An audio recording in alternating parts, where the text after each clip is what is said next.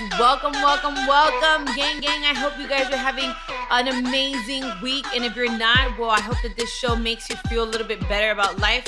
Because today, as usual, if you didn't know, you're about to find out that you're listening to Exactly Amara with Amara La Negra, a production of iHeart. And um, thank you so much for tuning in. Thank you so much, as usual. Tú sabes que yo siempre doy las gracias because I'm very grateful, always humble of the fact that you guys are always there to show me love, support, and you're always willing to hear my shit. So, with that being said, don't forget to subscribe, rate us, and share this podcast with your friends, with your family, con quien sea. Y mira, dame cinco estrellas, mi amor. Don't be stingy with the stars. Give us five stars, tú me entiendes, because you know that the show's getting better every time. Anyways, today we're talking about one of my favorite topics because um, I'm always trying to figure out ways to grow, to learn, to evolve, to become a better me. And when I say a better me, I also mean a better me financially. Let's figure out how can we invest our money? How do we create generational wealth? Um, and I'm gonna have a friend to break it down for me. For those that still don't get it, for those that don't understand, for those that are still confused, for those that don't feel that ay, eso no es importante para mí because I'm still young, I still got time. Not necessarily. Actually, while you're young is the time to do it. Y con eso dicho, my guest today is the founder of First Gen Living, María Melchor. Um, mi, mi reina divina fabulosa, tan inteligente como tú no hay otra. María, thank you so much for coming in today.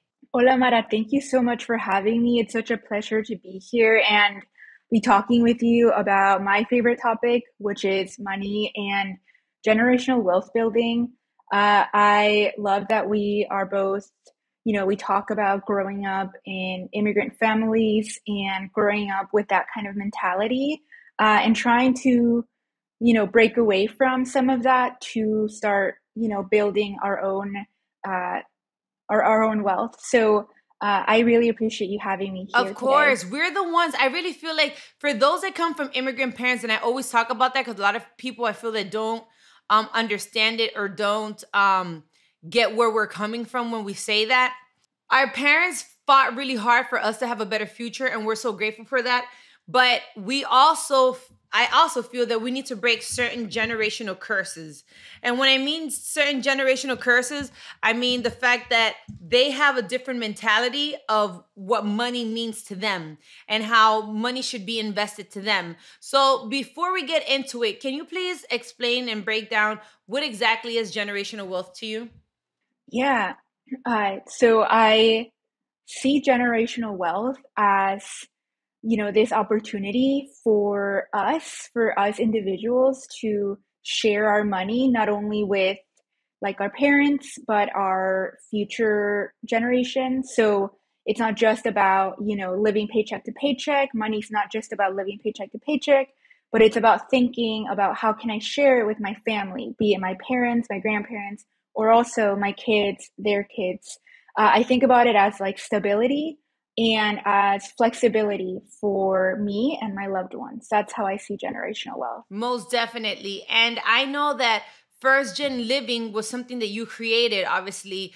Um, it, it educates people, especially first generation immigrants, students, and professionals, and all that stuff on finance. What motivated you? What inspired you to want to be the one to actually give that helping hand? Yeah, I you know, I grew up in a very hardworking family, very hardworking, but still low income. You know, we still were living at the federal poverty line. We still, you know, were struggling. Uh, and that always made me have money on my mind. So as soon as I graduated college, I wanted to learn more about how to maximize my money, how to start building some of this generational wealth. What did it, this even look like? What did this even mean? Uh, and I had to do all of that on my own. Like you said, like I didn't have anybody to turn to for guidance.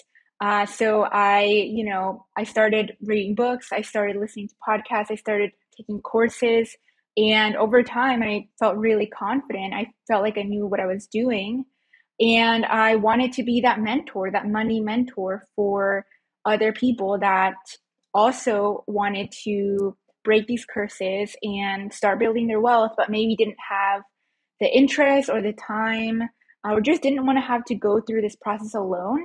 uh, that's where First Gen Living came in. I said, I, you know, I want to build my own financial education consulting business where I can just help people one on one, help them reach reach their financial goals.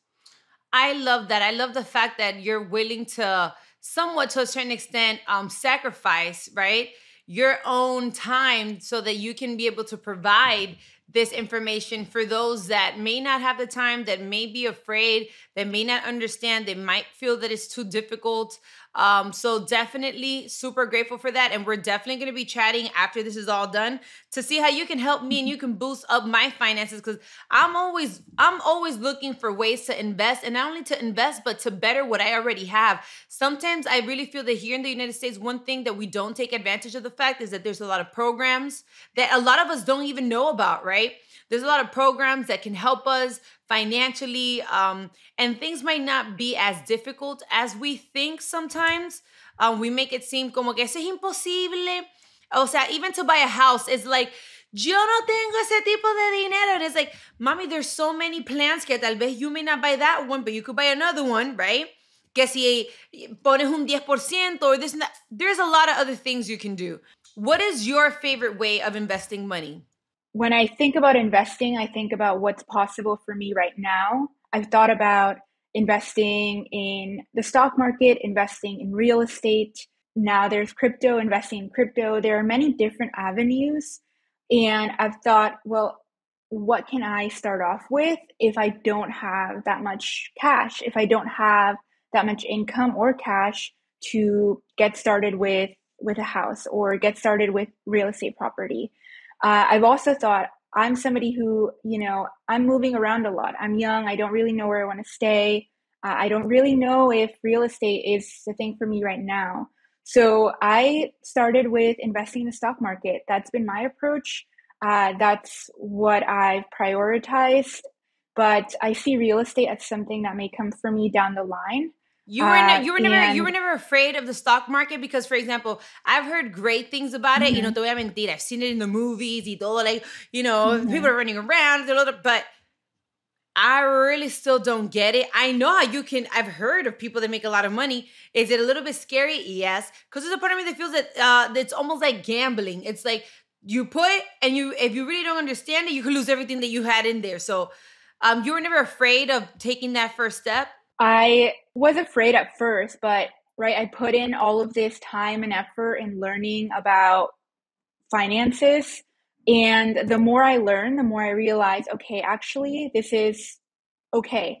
And I like what you said earlier about leaving your money in cash because uh, leaving your money in cash, something people don't think about is that there is risk in leaving your money in cash. There's not just risk in investing in the stock market or real estate, there's also risk of inflation if you just leave your your cash in your bank account, right? Like, yeah, if you leave it under your bed, right, there's that risk of what if, you know, somebody takes it or your house catches on fire. But even if you leave it in a bank that you trust, your money is losing value uh, if the you know if the value of the US dollar is going down over time. Um, so with investing in the stock market, as, as long as you understand that, that there is some risk, but that you can manage that risk, it, it's safe. It's a safe way to build wealth. It's a way that a lot of people, a lot of people who have a lot of money now have been able to build their wealth is by investing in the stock market.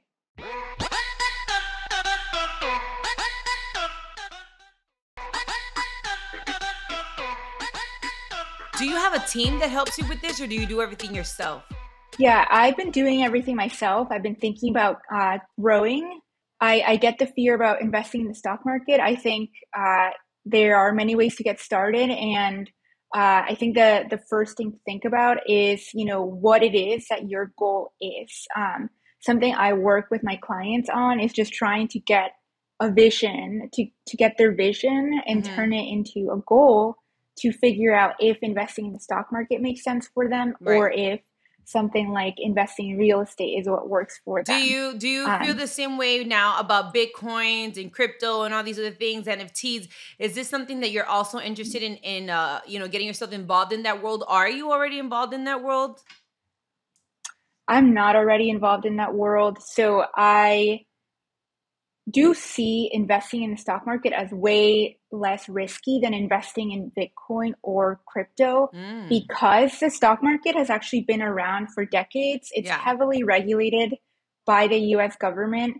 And there's a lot of data that helps us understand what we can expect for the future, and a lot of laws that help us yeah keep our money safe this is uh, something that it, this, and when it comes to stock market right is this something like uh because mm-hmm. i've seen it people that wake up early in the morning and they go de una vez to ver el noticiero to watch the news and see where the stock is mm-hmm. up and mm-hmm. down and this and that do you spend like all day in apps and like uh, is this like a a whole side mm-hmm. gig or is this something you know once in a while I just look and I just invest a little bit of money there and then como how do you do it yeah definitely more every now and then I look at my investments. I'm not monitoring them day and night, morning and night. I am what I, I call myself a passive long term investor. So, like you're saying, right, life gets busy. I do not want to spend all of my time just like looking at these numbers.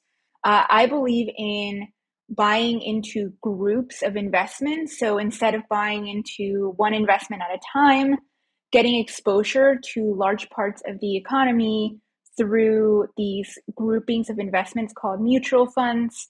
I buy into mutual funds. I let those investments sit there. I put my cash in, let those investments sit there, and have those investments grow as the economy expands, as these companies grow in value over time. Um, there's still risk involved with that, right. but it's so low maintenance, so low maintenance. Okay, so for those that still want to continue, obviously understanding more besides stock, right? Besides the stock market, um, what are other ways that you advise people to invest their money? Like, let's say a lot of people during the pandemic they got the little um the little stimulus check and didn't know what to do with the money.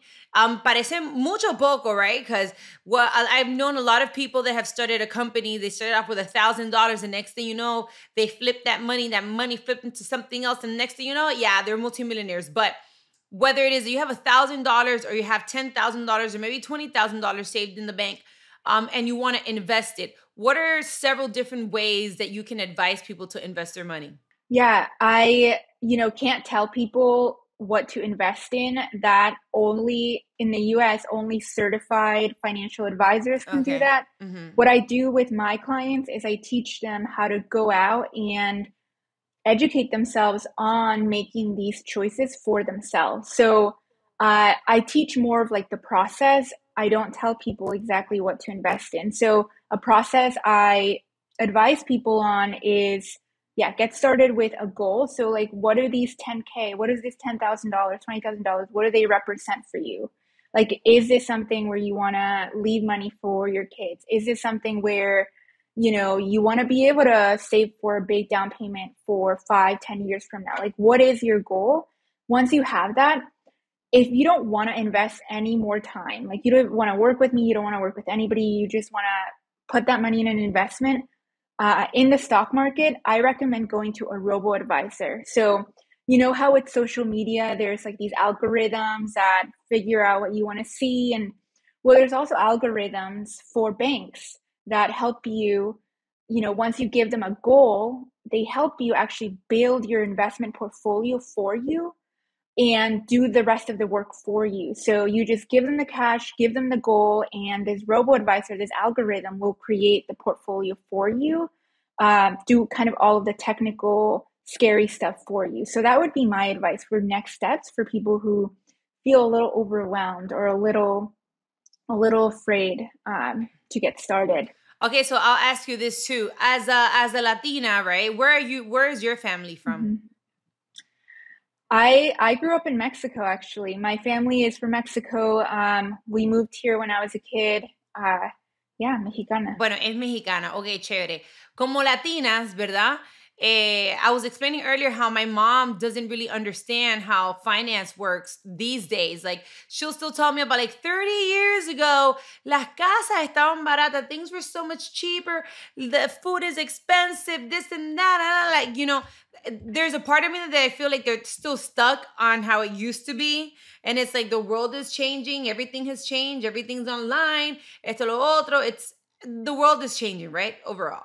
So, Um, when you talk to your parents or when when you told them what you were doing, how have you been able to help them grow mentally when it comes to money? Have how have you been able to teach them um, this is how you should use your money. This is the proper way of doing things. When it comes to talking to my parents, I always like to start by telling them about what I'm doing and how it's been working for me.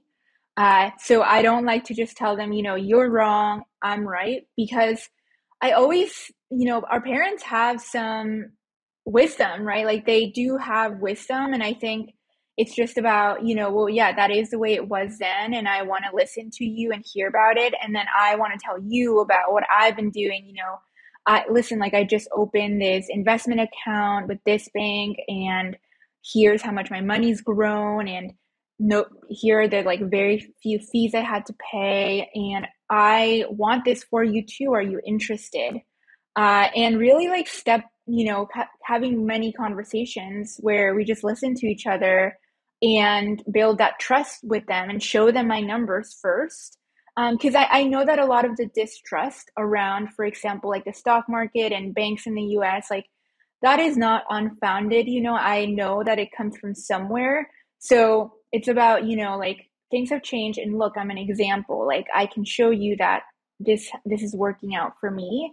It's working out for my clients. So um yeah, I mean they have valid they have valid stories. I think my parents have always believed in real estate, like a hundred percent, you know, way to build wealth is real estate. Uh, so that's something that I'm I'm also trying to be open to. Like, okay, you really believe that? Oh yeah, I'm a, I'm a fan of real estate. You already know. Yeah. Anybody that's heard exactly Amara knows that I always talk about real estate because I'm like, you may not need money for this to buy clothes, for your nails, for your hair, but everybody needs a place to live. So you can't go wrong with cement and bricks.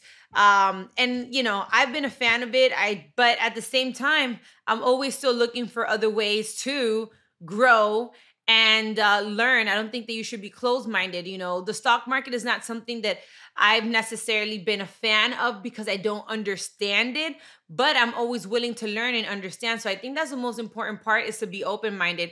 Maria, but I also want to ask you this because I know that you've talked about how some first generation Latinos can feel guilty when they start making money because they compare, you know, um, they compare it to what their parents basically, you know, used to make or what they make with their work. So can you explain that a little bit? Why do you feel that they feel guilty or we feel guilty? Yeah, I mean, I can talk more about, right, like growing up in a family where my dad was working all day, my mom was working all day, but they still were getting underpaid and we're not making enough to be able to be where I'm at now, right? Um, seeing that, right, it makes me think, well, I have to work hard all the time every day in order to make like the bare minimum. And now when i you know graduated college now that i have my own business and i'm seeing money kind of come a little more easily than how I came from my parents and you know get paid more than what they were probably getting paid at my age uh you know that that kind of I, I just have to acknowledge that right? That like they were in a different circumstance. They were probably getting paid less than what their labor was worth. And now i you know am in a different position. I'm in a different position where i'm asking for more money. I have the privilege to ask for more money. And i you know it's not really about um, good or bad right? Like i can't feel guilty about that. I can just feel grateful that things have changed and i'm in this new position um, so yeah, when clients come to me feeling guilty about earning more than their parents, you know, all I can say is, listen, it's not about, you know, that you don't deserve this. It's that your parents deserve just as much, but they didn't get it. And, you know, that sucks. But now, you know, you, you, you do deserve this.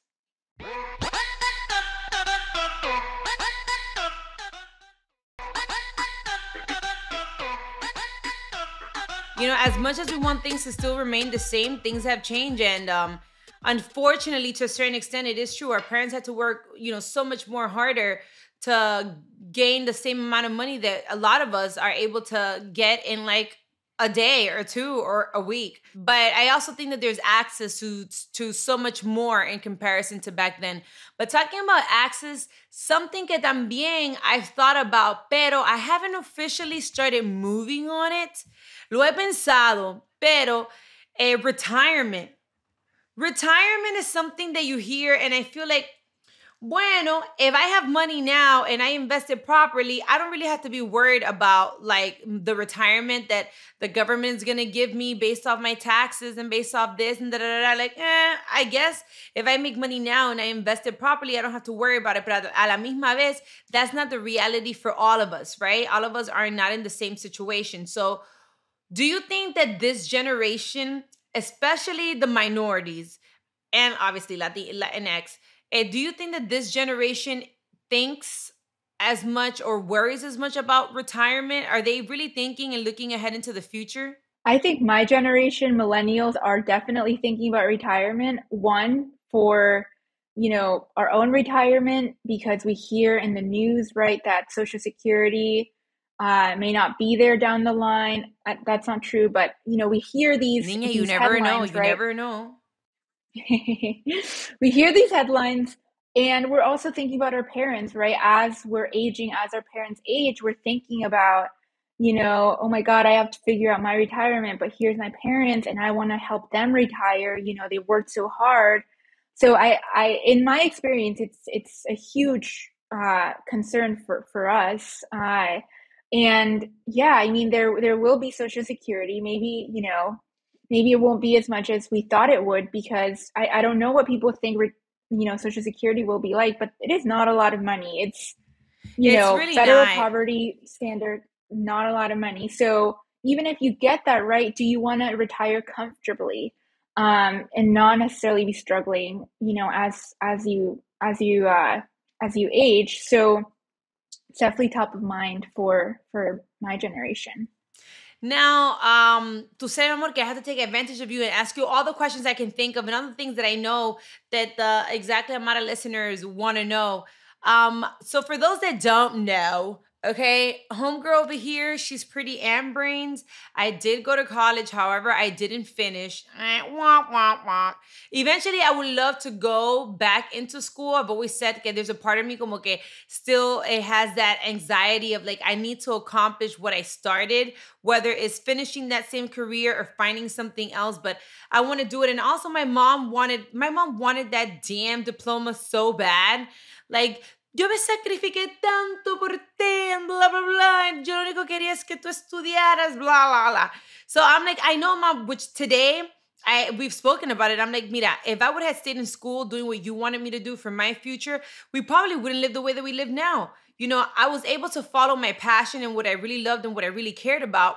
And that's why today we have a different lifestyle. I know a lot of people that go to college, they're stuck there trying to please their parents or just trying to do what they consider well if i study and i do this i'm going to get this job and this job is going to automatically give me this. And it doesn't necessarily happen the same way for everyone. I know a lot of college educated people who are working in you know department stores and that wasn't the vision for the future. So going to college doesn't always guarantee the future that you visualize but what i do know is that i was stuck with student loans for a really long time and I had to pay them student loans. Oh my God. You know, it was messing up my credit. Um, it was just a hot mess. but anyways, I got it paid off. Gloria a Dios. I was able to do it Pero I know that there's a lot of people que don't have the same possibilities of paying off their student loans.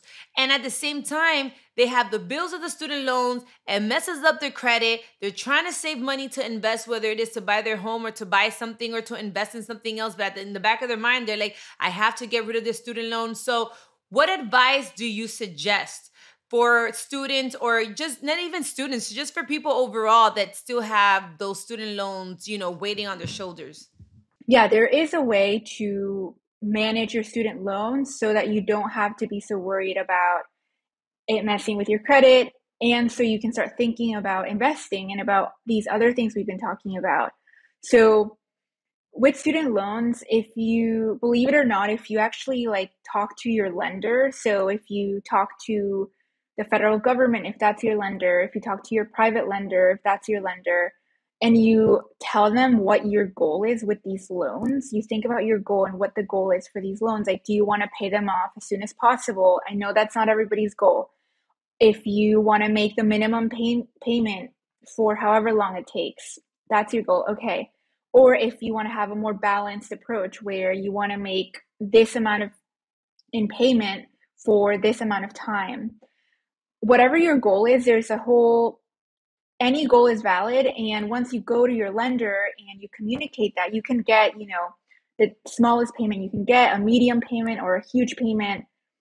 You have that taken care of. You've talked to your lender. I think a lot of people get really afraid to even talk to their lender and contact the agency because they're afraid of like the balance or what's going to be going on in there. But you really want to find out so that it doesn't mess with your credit and it doesn't make it impossible for you to go and pursue these other things like real estate down the line. So So confront um, the issue. Confront the issue. Don't ignore. It. Yeah, like if you have mm-hmm. bills, mm-hmm. if you have bills, whatever it is, if you have things in collection, whatever it may be, don't ignore it. Como que the longer I ignore it, como que it's gonna go away. It's not gonna go away. It's gonna yes, stay there. Exactly. It's gonna build up. It's gonna get worse. So um confront it do do let uh whoever it is know this is my goal. Like you just said this is how much i want to pay or my goal is within the next three years pay it off. How much should i be paying? And then if that means having to get a side gig bueno mi amor you, you know what i'm saying? You gotta figure it out. Look these days don't do what i say. Don't listen to me but i'm just saying i've heard of some people that pay some student loans doing the onlyfans. I don't know. You do whatever makes you feel comfortable Pero um, definitely don't just ignore your problems. Don't ignore, you know, the fact that you have bills, uh, you know, accumulated ahí sentado. Maria, my love, I want to thank you so much for all the great advice that you've given us today. Where can the people follow you? Where can they find, um, you know, your organization, everything that you have going on? I, I don't know un poquito de eso. Yeah, uh, I'd love to you know, I'd love to connect with some of you. I'm over at Instagram, First Gen Living. You can also look up my name, Maria Melchor, on Instagram, uh, or you can go to my website, which is www.firstgenliving.com. Uh, but I'm on Instagram most of the time. So, yeah, I'd love to hear your story, what you're struggling with, uh, and yeah, what some of your goals are. Bueno, guys, you already know this was the first part of many of many because you already know I'm not done talking about investments and generational wealth. This is just como que the beginning of many more conversations to come. I feel that a lot of people, especially the young generation, needs to continue to listen about this, needs to continue to learn about it. I too am always willing to learn. And now with Maria, when this is over, Maria Mija, you can't leave me here hanging. I want to know about the stock market. How much do I have to invest? How do I do this? So I'm definitely gonna be talking to you. Um, and maybe, you know, next time I'm on my podcast podcast, I can let you guys know when I finally started because the thing, the hardest thing is always to start. We're always scared to start. Just to get your feet wet is the scariest thing. Pero como dice mi mamá, nobody's born knowing. You have to learn during the process of life. So, uh, with that being said, guys, thank you so much as usual for joining and listening to Exactly Amara. Remember to follow us on Instagram and on Twitter at Exactly Amara, also my Cultura podcast on Instagram para que se enteren de todos los chismes y de todos los podcasts que tiene My Cultura que están buenísimos. You can also watch the podcast on the YouTube channel. Go on the search bar and write exactly Amara or Amara la Negra, and you will find all the podcasts, the behind the scenes, and all that good stuff. This has been a production of iHeart to My Cultura Podcast Network. For more podcasts from iHeart, Visit the iHeartRadio app, Apple Podcasts, or wherever you listen to your favorite show, like Exactly Amara. With that being said, I love you guys so much. I shall see you guys next Thursday. Mwah. Ciao.